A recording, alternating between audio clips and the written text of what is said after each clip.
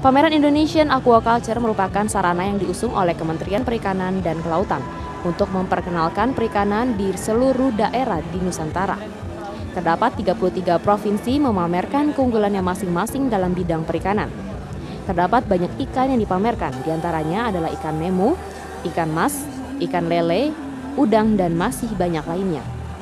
Acara ini berlangsung dari tanggal 26 hingga 29 Agustus 2014, bertempat di Parkir Timur Senayan, Jakarta. Kegiatan Indonesian Aquaculture tahun ini mempunyai nilai strategis dalam pembangunan kelautan dan perikanan.